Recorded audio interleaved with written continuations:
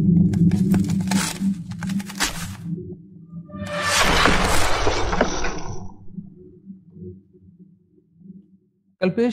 PV Z scanner और Excel sheet इन दोनों में डिफ्रेंसिएशन क्या हो सकता है? कि पीवीजेड स्कैनर जो हमने बनाया आ, उसके अंदर वॉल्यूम्स के ब्रेकआउट तो आपको देखने को मिल जाएँगे। डिलीवरी वॉल्यूम ब्रेकआउट ये रैंडमली आपको चेक करना पड़ेगा। क्योंकि जो चार्टिंग की वेबसाइट उसमें डिलीवरी वॉल्यूम का कहीं पर भी कोई ज़िक्र नहीं है। जैसे कि हम लोग वॉल्यूम्स को देख लेते हैं ना, कि थर्टीन की वॉल्यूम फोर्टीन से ज़्यादा हो या फोर्टीन की वॉल्यूम थर्टीन से ज़्यादा हो तो एक तरह से वो फ़िल्टर हो जाता है। बट डिलीवरी वॉल्यूम का कहीं ऑप्शन ही नहीं है। और सिर्फ़ चार्टिंग पर ही नहीं ज़्यादातर वेबसाइट्स के ऊपर डिलीवरी वॉल्यूम का कोई ज़िक्र नहीं होता है। कोई इंफॉर्मेशन उसकी नहीं मिलती है। एनएससी पर है, वो भी सिर्फ़ एक दिन के लिए रिफ्लेक्ट होती है और सेकेंड डे वो भी रिमूव कर दी जाती है। तो पीवीजेड और एक्सेल फ़ाइल में डिफरेंस सिर्फ़ इतना है कि पीवीजेड में आपको डिलीवरी वॉल्यूम ब्रेकआउट नहीं दिखेगा। बाकी डिलीवरी वॉल्यूम को छोड़ करके जितने दो क्राइटेरियाज अपने बनते हैं, वो फुलफिल हो जाते हैं। पीवीजेड के अकॉर्डिंग आप क्या कर सकते हो कि जितने भी स्टॉक्स निकल करके आते हैं आपके रैंडमली आप जाइए, उसको चेक करिए कि कौन से स्टॉक के अंदर डिलीवरी वॉल्यूम ब्रेकआउट हो चुका है। अब आप यहाँ पर फ़िल्टर आउट कर सकते हो। मतलब इसके लिए आपको दो दिन का डाटा लेकर के एक्सेल एक तरफ़, एक एक्सेल फ़ाइल एक तरफ़ दूसरी एक्सेल फ़ाइल इनको डिज़ाइन नहीं करना पड़ेगा, इनको बनाना नहीं पड़ेगा। आप सीधे पीवीजेड में गए स्कैनर मार दिया। आज कौन सा स्टॉक मेरे पास आया है? सन फार्मा आया है और जीएसडब्ल्यू स्टील आया अभी सन फार्मा पर एनएससी वेबसाइट पर जाइए सन फार्मा डालिए। आज की डिलीवरी वॉल्यूम क्या कल से ज़्यादा है? नहीं है? तुरंत कैंसिल कीजिए। डॉक्टर या सन फार्मा था, दूसरा स्टॉक कौन सा था? जेएसडब्ल्यू स्टील, मान लीजिए। तो जेएसडब्ल्यू पर आपने ओपन कर लिया, एनएससी के ऊपर, देख लीजिए। डिलीवरी वॉल्यूम मेरी आज ज़्यादा है, कल से है तो उसको चेक मार दीजिए। हेमंत, ये अच्छा सवाल है। एक सेकंड होल्ड कीजिएगा जरा। कमल और हेमंत, दोनों का बहुत बढ़िया क्वेश्चन है। देखिए, कमल साहब, जो आपका क्वेश्चन है कि वन डे के टोटल चार्ट में वन डे में टोटल ट्रेडेड क्वांटिटी शो होती है या डिलीवरी क्वांटिटीज भी? वन डे के टाइम फ्रेम में यहाँ पर हमें सिर्फ़ टोटल ट्रेडेड क्वांटिटीज ही शो होती हैं डिलीवरी क्वांटिटी शो नहीं होती।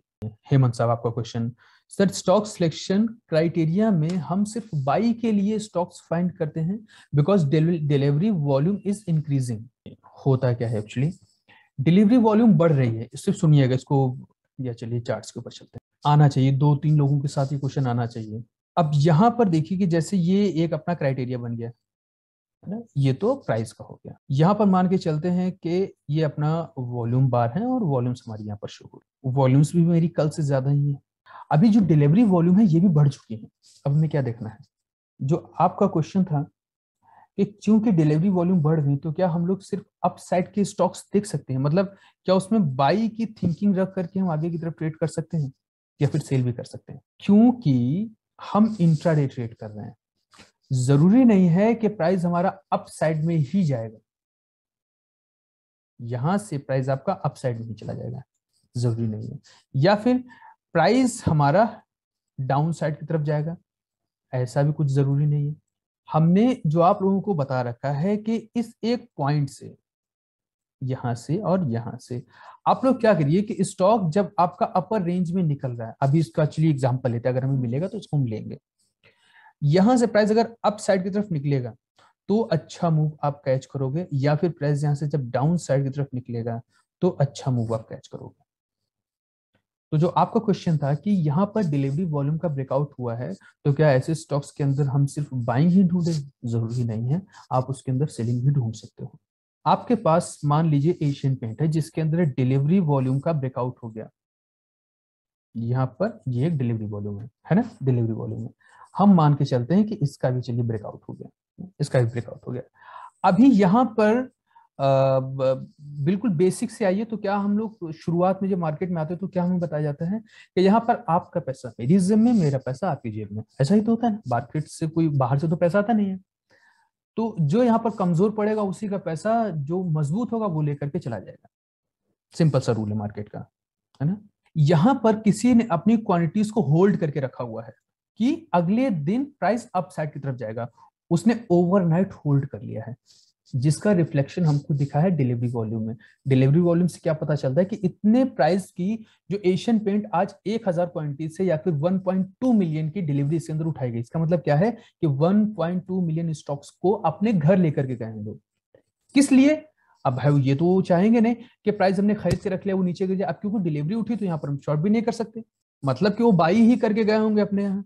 अब बाई करके गए हैं 1.2 मिलियंस में स्टॉक्स उठाए गए हैं। इसका मतलब क्या है कि वो ये चाहते हैं कि प्राइस हमारा अपसाइड की तरफ़ जाएगा और इसी उम्मीद के साथ वो गए होंगे। क्या पॉसिबल है? मतलब गारंटी है कि प्राइस आपका अपसाइड की तरफ़ चला ही जाएगा। डिलीवरी उठिए तो क्या डिलीवरी का ये मतलब है कि गारंटी है कि प्राइस हमारा अपसाइड की तरफ़ चला जाएगा। क्या वो नीचे नहीं गिर सकता? अगर ऐसा होता तो फिर तो मार्केट से पैसा बनाना बहुत आसान होता। हम देख रहे हैं कि डिलीवरी वॉल्यूम उठी, इसको बाई कर लेते हैं लोग। दो लाख, तीन लाख क्वांटिटी में बाय करके रख ली, छोड़ दिए। वो ऊपर ही जाना है। ऐसा कुछ, वो तो है नहीं कि ऐसा हो ही जाएगा, कोई गारंटी नहीं है, वो नीचे भी जा सकता है। हमारे कहने का मतलब यह है, क्योंकि हम इंट्राडे ट्रेड करते हैं जो इन्वेस्टर होता है, कहा जाता है कि इन्वेस्टर के पास पैसा होता है और एक इंट्राडे ट्रेडर के पास पैसा नहीं होता, उसके पास दिमाग होता है। वो अपने इंटेलिजेंस जितना उसका इंटेलिजेंस तेज होगा ना, वो उतना अच्छा ट्रेडर बनेगा।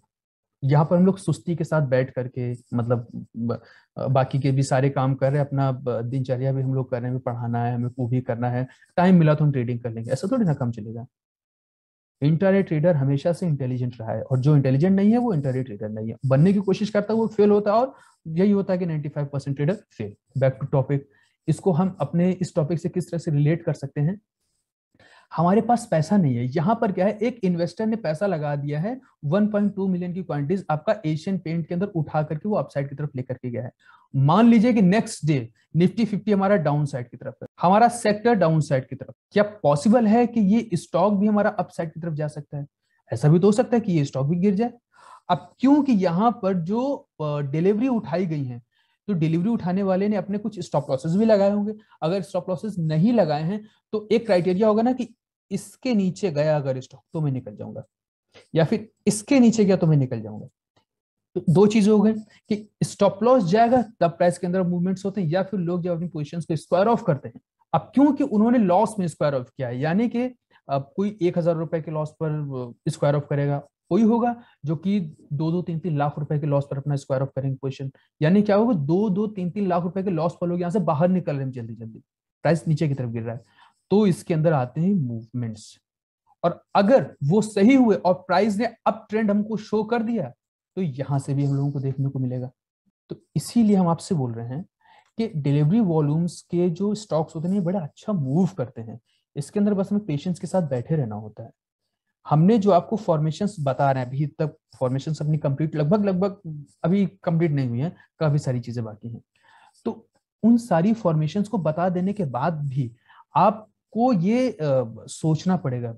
इसकी प्रैक्टिस आपको आगे भी जारी करनी होगी। मतलब वो फॉर्मेशन बता दी तो ऐसा नहीं कि उस फॉर्मेशन के बाद स्टॉक नीचे चला जाएगा वो ऊपर भी जाएगा आपका स्टॉप लॉस भी खा सकता है। इसमें कुछ फिक्स तो है नहीं। लेकिन देखना ये होगा कि प्राइस अगर हमारा डाउन साइड की तरफ़ निकलता है तो क्या मूव आते हैं इसकी तरफ़?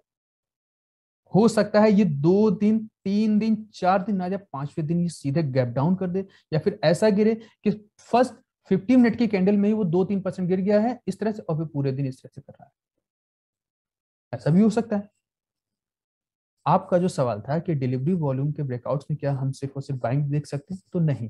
आप बाइंग भी देख सकते हैं और आप शॉर्ट सेलिंग भी कर सकते हैं। आपको मतलब नहीं है। आप बस मार्केट की हवा जिस तरफ़ है, आप उस तरफ़ हो रही है इन्वेस्टर ने क्या किया, उसको नहीं मालूम। हो सकता है। देखिए, इन्वेस्टर ऐसा नहीं कि वो कोई कमज़ोर होता है। लेकिन अब कोई भविष्यवक्ता तो है नहीं ना, कि उसने बाई किलो स्टॉक ऊपर चले जाएगा, वो नीचे भी जा सकता है। हमें क्या देखना हम दोनों साइड के देखें। अगर ये ऊपर की तरफ़, अपना जो इन्वेस्टर है ऊपर की तरफ़, यानी कि प्रॉफिट में रहा तो स्टॉक के अंदर मूवमेंट्स अच्छे आएँगे। अगर ये इन्वेस्टर निकला तो मतलब लॉस में निकलेगा तो मूव डाउन साइड की तरफ़ अच्छे आएँगे। तो इसीलिए आप दोनों साइड में क्वेश्चन बनाने की कोशिश करिए। प्रैक्टिस करिए। ये एक महीने का, दो महीने का, छह महीने का काम नहीं है। इस सिस्टम के ऊपर आपको कम से कम डेढ़ दो साल लगातार काम करना होगा। इस सिस्टम के ऊपर मतलब कि कोई भी सिस्टम के ऊपर जिससे भी आप ट्रेड करना चाहते हो। एक लेवल ऐसा आएगा ना कि आप करने लगोगे अच्छा काम करने लगोगे। रेंडमली आप कहीं पर भी रंजीता जी आवाज़ आ रही है आपको मेरी? हाँ सर। ओके अलर्ट पर रहिएगा अभी हम आपको अनम्यूट करेंगे इधर से। ओके रंजीता रूबी और मुस्तफ़ा कमल और कपिल। एक सेकंड हम नोट कर लेते हैं। रंजीता जी माइक अनम्यूट कीजिए अपना। हाँ सर। कल्पेश अभी जो डिस्कशन चल रहा है उसके ऊपर फोकस कीजिए। ये मान लीजिए हमने कैंडल्स यहाँ पर कर दी हैं फोर आवर्स देखिए यहाँ से लीजिएगा ये ये वाली जो अपनी कैंडल है ये ग्रीन वाली कैंडल प्राइस को रीड करिए किस तरह से रीड कर पाएँगे। आने वाली कैंडल्स के मूव्स क्या हो सकते हैं इसके लिए आपको हेल्प लेनी है इन यहाँ से। क्या मूव्स आपको देखने को मिल सकते हैं? क्या सपोर्ट्स हो सकते हैं? क्या रेजिस्टेंस हो सकते हैं? One by one candle by candle देखते हैं या। आपको लगता है कि यहाँ से हमें नहीं देखना है किसी और कैंडल से देखना है तो वो आप हमको बता दीजिए। प्राइस को रीड कीजिए। रंजीता जी। हाँ सर। बोलिए। सर ऊपर रेसिस्टेंस दिख रहा है सर। किस कैंडल में? सर ऊपर है ना सर दो हाँ सर हाँ। ये वाला ठीक है। हाँ सर। ओके और? और सिंगल कैंडल फॉर्मेशन दिख रहा है सर कहाँ पर? जहाँ कहीं? हाँ हाँ सर सर कलर में थोड़ा दिक्कत आ रही सर इसलिए। हम ग्रीन एंड हाँ ग्रीन एंड रिड्यूस करते हो इसलिए थोड़ा प्रॉब्लम हो रही है सर उसको हमने टिक कर दिया आपका। सिंबल और बॉडी को हमने कर दिया यहाँ पर रेड इसको हम लोग कर दे रहे हैं ग्रीन परफेक्ट हाँ सर चलिए बताइए। हाँ सर ये वो पिन बार जैसा दिख रहा है है ना सर ये? अ, वो नहीं सर हाँ हाँ सर वो सर ये वाला? हाँ। ओके इसका क्या मार्क करना है? हाई या लो सर दोनों सर ग्रीन ग्रीन वाला high and low sir green वाला मतलब? उसका पीछा उसका पीछा है ना सर ग्रीन सा? नहीं sir green pin bar sorry red pin bar back side में ना हाँ ग्रीन सर उसका पीछे ये? हाँ सर ये वाली? हाँ सर ओके इसका हाई हमने ले लिया और इसका लो ले लिया। ठीक है? हाँ सर अब अ, अ, सर अ, ऊपर रेसिस्टेंस बोला था ना सर पहले। ठीक है ये वाला। हाँ। हम्म, वो छोटा वाला ग्रीन है ना सर? छोटू ये वाली ग्रीन नहीं सर फ्रंट सर। हाँ सर हाँ सर। ये वाली। सर बैक बैक रेड है ना सर? ये वाली रेड वो हाई हाँ हाई एंड लो। ये वाली जो कैंडल है। हाँ सर। इसको मार्क करें हम। हाँ सर। सर चार्ट में मैं ऐसा ही मार्क कर रहे थे सर और हमको कुछ भी नहीं पता है सर। आप का अ, सर, कैसे बताओ लैंग्वेज प्रॉब्लम है सर? आप आराम से बोलिए सब समझ में आएगा सब समझ में आएगा। आप आराम से बोलिए जो भी कंफर्टेबल हम्म, अ, सर मैं ऐसा ही अ, चार्ट में मार्क कर रही थी सर। हम्म, सिंगल कैंडल फॉर्मेशन और चार तीन फॉर्मेशन है ना सर हम्म, उस देख के मैं ऐसा मार्क कर रही थी सर ठीक है। हमें सिर्फ़ और कुछ भी नहीं पता नहीं सर इसमें। सिर्फ़ हमें इतना जवाब दीजिए कि हमें आज इस चार्ट को ट्रेड करना है। हम कैसे करेंगे? अगर आप लाइव मार्केट में होती हैं क्योंकि देखिए मार्केट भी चल रही है। अगर हम इस मार्केट के अंदर बैठे हुए तो हम किस तरह से इसको काम करेंगे? ये हायर टाइम फ्रेम लाइक हमने यहाँ पर फोर आवर का टाइम फ्रेम सिलेक्ट कर दिया। हाँ सर अ, सर अ, मैं फाइव मिनट में अ, कर देती हूँ सर फाइव मिनट में कौन सा फॉर्मेशन आया उसमें मैं हाई लो मार्क करके हम्म। अ, देखती हूँ सर तो ये तो गलत वो बात है ना कि आप डायरेक्ट लोअर टाइम फ्रेम पर आ गए। हायर टाइम फ्रेम पर आपको क्या मार्क करना होगा? अ, नहीं सर नहीं पता है सर हायर फिर में आप दिया था ना सर फोर फॉर्मेशन सॉफ्टवेयर में। हाँ। वो देख के मैं मार्क करती हूँ सर। गलत बात बहुत गलत बात। रंजीता जी आपको मालूम होना चाहिए कि आपके पास प्रॉब्लम क्या है तो हम उस चीज़ का आंसर आपको देंगे। अब अगर समझ में नहीं आ रहा तो आपको हमसे पूछना चाहिए था नहीं? हम्म, तो हमें तो लास्ट तक नहीं पता चलता कि आप क्या देख रहे हो क्या गलती कर रहे हो। हाँ यहाँ पर देखिए अब हायर टाइम फ्रेम है लाइक इसको अब हमें ट्रेड करना तो सबसे पहला क्राइटेरिया हमारा क्या बनेगा कि हायर टाइम फ्रेम्स पर लाइक ये जितनी भी रेंजेस आपने ड्रॉ करवाती है हमसे ठीक है? यहाँ पर आपने कहा कि जैसे ये मेरा एक सपोर्ट बन गया और ये एक रेजिस्टेंस बन गया। प्राइस के जो मूव्स हैं वो डाउन से लेकर के अप साइड के हैं। मतलब हाँ यहाँ से इस वाली रेंज से यहाँ से आपका प्राइस यहाँ तक गया है। मतलब प्राइस डाउन से अप साइड की तरफ़ गया है ना? सर प्राइस अगर अप साइड की तरफ़ जाता है तो क्या मूव करता है? अप साइड में गया एक रेंज आती है ना जहाँ से इसको हम बोलते हैं कि रिजेक्शन मिला है है ना? फिर प्राइस अप साइड की तरफ़ जाएगा फिर से उसको रिजेक्शन मिलता है। प्राइस मूवमेंट्स मूवमेंट्स तो प्राइस ऐसे ही करता है ना higher high higher high higher lows लोज बनाते हुए। मतलब अगर प्राइस को अप साइड की तरफ़ जाना है तो वो रेजिस्टेंस तोड़ते हुए जाता है। हाँ ऐसा तो करेगा ना? यहाँ पर जीआरटी में लो से हाई गया है। आप मानती हैं कि यहाँ पर भी रेजिस्टेंस ब्रेक करके प्राइस अपसाइड की तरफ़ गया होगा? सर आपका क्या काम है? आपका कॉमन सेंस क्या बोलता है? क्या ऐसा हो सकता है कि प्राइस जो अप से डाउन से अप साइड की तरफ़ गया है, वो जिस रेजिस्टेंस को ब्रेक करके गया, अब ये क्योंकि प्राइस अप से डाउन साइड की तरफ़ आ रहा है।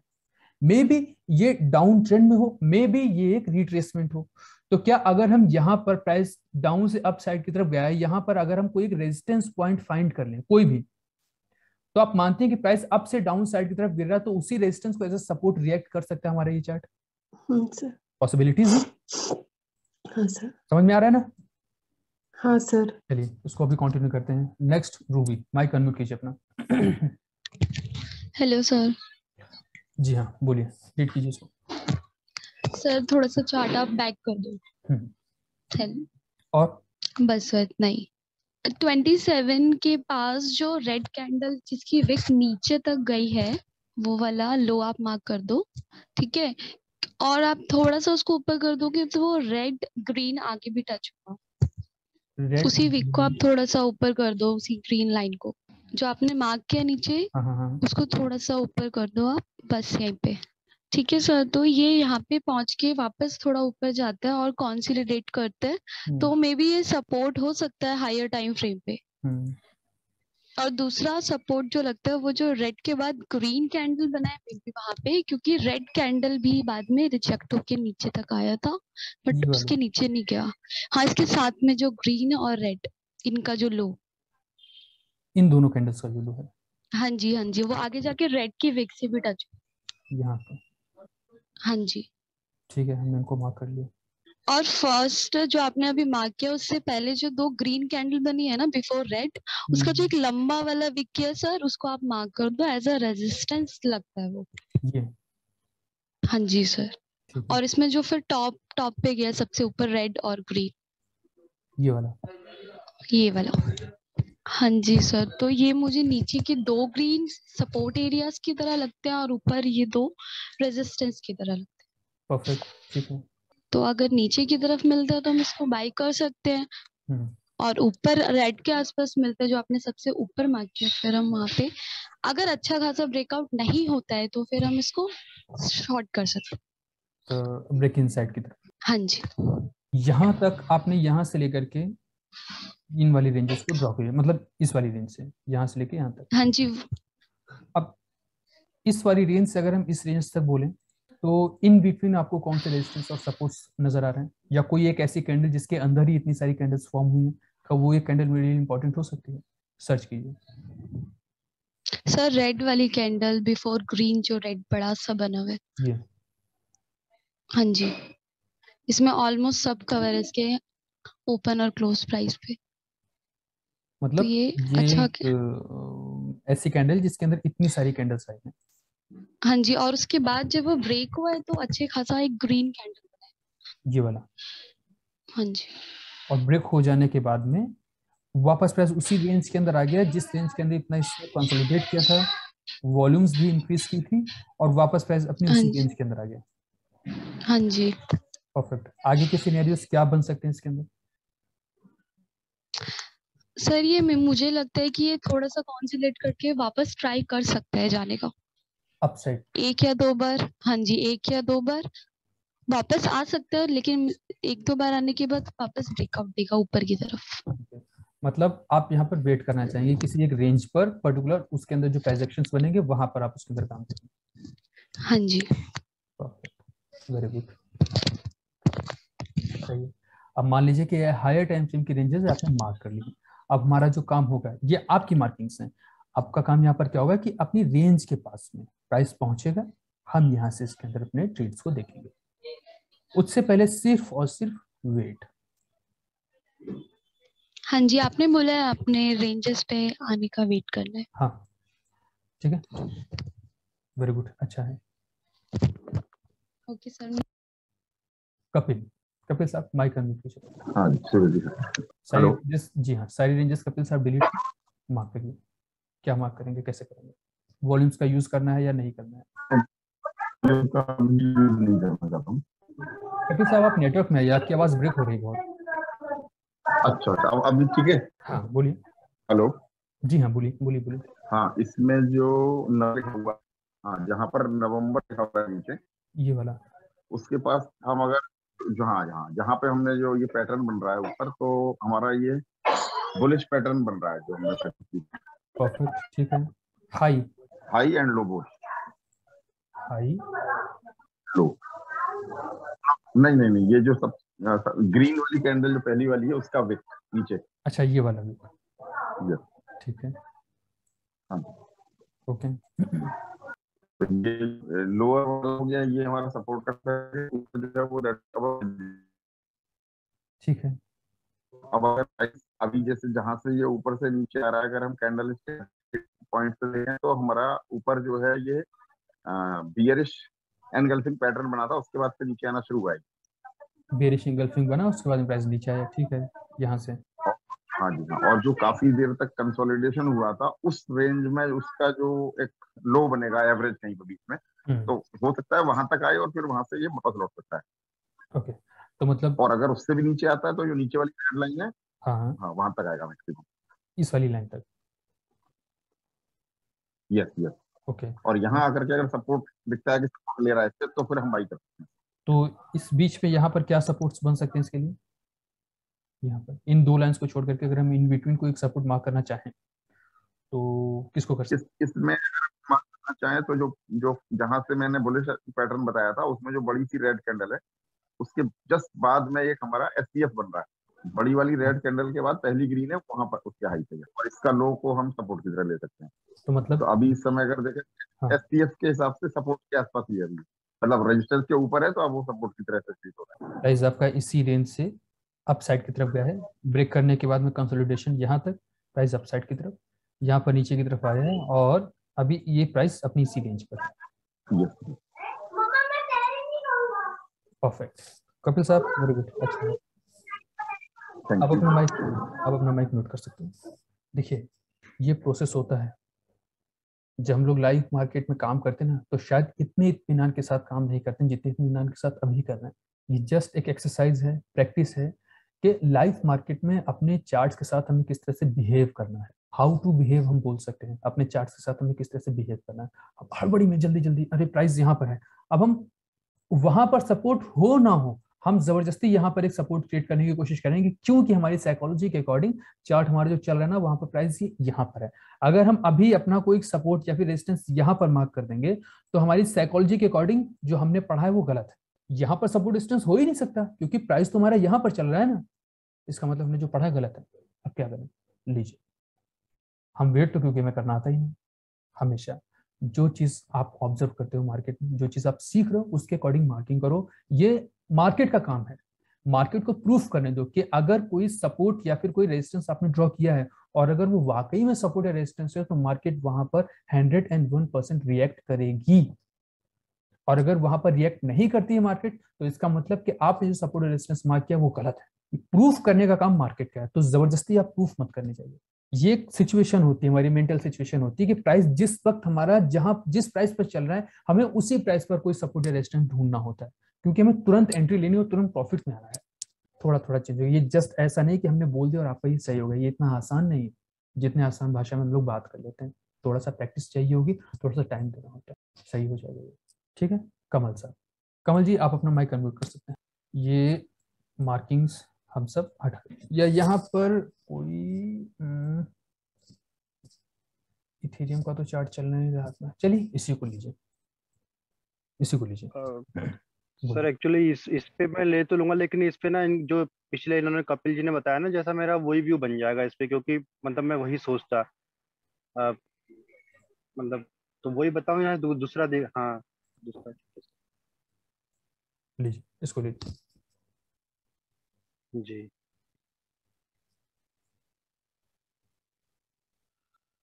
ठीक है सर ट्वेंटी सेवन को यहाँ पर ट्वेंटी सेवन को डबल बुलिश डबल बेरिश बन रहा है ऊपर अ, तो वो मेरा सपोर्ट और रेजिस्टेंस बन जाएगा। ट्वेंटी सेवन्थ का जो है ना टॉप ये वाला। जी। ठीक है। और इसमें ट्वेंटी एट्थ का मेरे बन जाएगा ट्वेंटी एट्थ का बन जाएगा मेरा सपोर्ट ट्वेंटी एट्थ में जो ये वाला। जी। नहीं नहीं, ये नहीं इसके आगे ट्वेंटी एट्थ हाँ यहाँ पे यहाँ पे। चलिए ठीक है। वैसे वैसे वो भी वो भी रहेगा एक डबल मतलब लगा सकते हैं वहाँ पे डबल इसका नीचे विक में नीचे हाँ यहाँ पे एक स्ट्रॉन्ग जोन के लिए मार्किंग हाँ ठीक है। ठीक है हम्म, तो अभी हम्म, तो अभी इसने अपना हायर सपोर्ट रेजिस्टेंस ब्रेक करके ऊपर गया और ऊपर इसका कहाँ पर? सर फिर इसका ना यहाँ पे फिफ्थ के ऊपर यहाँ पे जो फोर्थ फोर्थ का जो टॉप बना फोर्थ में डबल बुलिश डबल बिलिश बना फोर्थ में। ये इसका मार्क रेजिस्टेंस हो जाएगा ये यस सर ये वाला पॉइंट यस सर चलिए ठीक है। और बस मेरे लिए यही यही इसका सपोर्ट और रेजिस्टेंस रहेगा। और हम्म, जी सर यही रहेगा। मैं इसी को इसी को मार्क करके इसमें आगे काम करूँगा।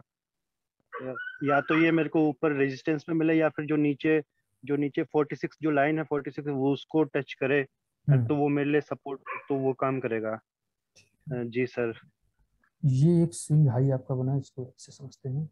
एक स्विंग हाई है। ये एक लो है। अगेन ये एक हमारा हाई है ये एक लो है एक ये हाई है ये लो बना। अगेन ये एक हाई और जहाँ पर एक लो मान सकते हैं। फिर से ये एक हाई एक ये लो अगेन हाई और ये लो और ये बाकी आगे की जो मूव्स हो रही है हमें नहीं मालूम ये क्या है। जी सर। जो अभी आपने हमसे ड्रॉ किया सही है बिल्कुल सही है। ऐसे क्लास में नहीं पढ़ा है सर वो यूट्यूब में ही देखा आपके क्लासेस चलिए YouTube इसको ज़्यादा डीप में नहीं आगे की जो क्लासेस होंगी उसके अंदर जिक्जैक हम आपको बताएँगे। अगर हम भूल जाएँ तो कमल साहब ये याद दिला दीजिएगा। जी सर। ठीक है? इसको अच्छे से और क्लियर करेंगे। तो इसको मार्क आउट करने के पीछे का पर्पस क्या है? कि जो आपने मार्क करवाया है ये एक्चुअली ये एक हाई है और ये एक लो है। जी। उसके बाद में प्राइस हमारा अप साइड की तरफ़ एक हाई लगाता है और ये एक लो लगा देता है। लो के बाद में एक सीधे प्राइस गया और आपका ये वाला जो हाई है ना इसको ब्रेक कर दिया। विथ वॉल्यूम ब्रेक हुआ होगा आई एम श्योर कि यहाँ पर वॉल्यूम्स के ब्रेकआउट हुए होंगे। यस सर राइट है ना? क्यों हुआ होगा ऐसा? क्योंकि जो ये रेंज है ना इसको ब्रेक करने के लिए वॉल्यूम्स की ज़रूरत पड़ेगी ही पड़ेगी। जी। और ये जो वॉल्यूम आई है इसी का नतीजा था कि प्राइस आपका नेक्स्ट लेवल पे पहुँच गया। अब ये जो स्विंग्स आपने हमसे मार्क करवाए यहाँ पर हम एक चीज़ देख रहे हैं कि प्राइस ये वाला तो आपका स्विंग ठीक है चलिए। लेकिन जब हम इसको देखते हैं ये वाला जो पॉइंट है हमें एक ये वाला स्विंग और इससे ज़्यादा हम देख रहे हैं कि एक ये वाला स्विंग और दूसरा है हमारा ये वाला स्विंग जी सर। इसके अकॉर्डिंग हम ये देख रहे हैं कि इस स्विंग से ज़्यादा जो इम्पोर्टेंट इंपॉर्टेंस हमको लग रही है वो इस वाले पॉइंट की है। ये आपका ज़्यादा इंपॉर्टेंट बनेगा। अगेन क्या है? ये रेजिस्टेंस आपका ज़्यादा इंपॉर्टेंट होता है। समझ रहा क्योंकि प्राइस ने यहाँ पर देखिए एक लो लगाया है। वॉल्यूम के साथ सपोर्ट लिया है। सपोर्ट लेने के बाद में सीधे प्राइस अप साइड की तरफ़ और वापस देखिए लो लगा। हमने आपको क्या बताया कि जो भी फॉर्मेशन हमने आपको बताई हैं, वो जस्ट उनको एज अ फॉर्मेशन ट्रीट मत कीजिए। क्योंकि उनकी बनने की अपनी एक सेपरेट जगह होती है। अगर वो सही जगह पर बनती है तो वो फॉर्मेशन सही है और अगर सही जगह पर नहीं बनी है तो वो फॉर्मेशन आपको ट्रैप कर ले जाएँगे जैसे अभी आपको यहाँ पर ट्रैप किया। जी सर क्या आप मानते हो कि इतनी सारी जो वॉल्यूम्स जैसे कि हम इस रेड वाली कैंडल का हाई मार्क कर लें और इसका लो आपने मार्क करवा रखा पहले से ही तो देखिए कितनी सारी कैंडल्स हमारी इकलौती सिर्फ़ इसी एक कैंडल के अंदर फॉर्म हो गई। एक दो तीन चार पाँच छः सात आठ नौ। मतलब ब्रेकआउट करने से पहले नाइन इंटू फोर हम कर दें तो उतनी कैंडल्स यहाँ पर इतनी देर से प्राइस यहाँ पर अपना रुका हुआ था। वॉल्यूम्स भी इसके अंदर बढ़ रही हैं मतलब पावर्स भी जनरेट हो रहा है। तो इस लेवल पर आकर के हमारी इंफॉर्मेशन की कोई वैल्यू नहीं रह जाती। क्योंकि यहाँ पर जो। इम्पोर्टेंस ही हो गई वो इस वाली कैंडल की हो गई। जी सर उसके बाद में हम देख रहे हैं कि प्राइस जो हमारी अपनी इस वाली रेंज को ब्रेक करने के बाद वापस आकर के जो रुका है वो इस वाले पॉइंट पर रुका है। तो आप मानते हो कि इस वाले पॉइंट से ज़्यादा हमारा ये पॉइंट इंपॉर्टेंट बन रहा है? जी सर समझे। जी सर। इसके बाद में देखिए प्राइस हमारा सीधे अपनी इस वाले रेजिस्टेंस को ब्रेक करके अपसाइड की तरफ़ निकल गया। अप साइड की तरफ़ निकला है तो देखिए यहाँ से इसके अंदर हायर हाइज लग रहे हैं। मतलब लोज आके प्रोटेक्ट हो रहे हैं। लो बचा? यस सर हाई टूट गया। अगेन देखिए क्या हुआ। लो बचा? यस सर हाई फिर से टूट गया। अगेन हम क्या देख रहे हैं? लो टूट गया। हाई प्रोटेक्टेड है। हाई प्रोटेक्टेड है। मतलब हाई नहीं टूटा। अब यहाँ से क्या हो रहा है? कि लोज टूटने शुरू हो गए। अब अगर प्राइस को डाउन साइड की तरफ़ गिरना है तो कौन से इसके सपोर्ट लेवल्स बन सकते हैं? ये वाले। 46 यस सर 46 वाला। अब यहाँ से भी अगर प्राइस हमारा डाउन साइड की तरफ़ गिर सकता है गिरेगा तो कौन से सपोर्ट लेवल्स उसको मिल सकते हैं? ये वाले। यस सर या फिर और ये वाले। आ, जी जी। अभी रंजीता जी को जो हमने बताया कि प्राइस हमारा अप साइड की तरफ़ जाता है तो रेजिस्टेंस को ब्रेक करते हुए जाता है। इस तरह से। अगर हम इन रेजिस्टेंसेस का पता लगा लें तो क्या ये पॉसिबिलिटी है कि प्राइस अब जो हमारा गिरेगा तो किस रेंज तक गिरेगा? मतलब रेजिस्टेंस बिकम सपोर्ट यही तो होता है ना? यस yes, सर अगर ये रेजिस्टेंस है तो प्राइस अगर गिरेगा तो बहुत ज़्यादा चांसेस हैं कि जो प्राइस हमारा सपोर्ट ले वो इसी रेंज से ले सकता है। यस सर समझ में ना? अब क्योंकि देखिए हमने ये जो रेंजेस मार्क की इनको क्या है हमने सिर्फ़ रेजिस्टेंस यहाँ पर मार्क किया है। जिन रेंजेस को प्राइस ब्रेकआउट करके हमारा अपसाइड की तरफ़ गया है। अब अगर प्राइस हमारा गिरेगा तो क्या यही रेजिस्टेंस एक सपोर्ट बन सकते हैं? जी जी। मतलब हमारे पास इस जगह की पॉसिबिलिटीज हैं मतलब ऐसे ऐसे प्राइस हैं कि जहाँ पर प्राइस हमारा रुक सकता है। क्या इस जगह पर हम अवेयर रह सकते हैं?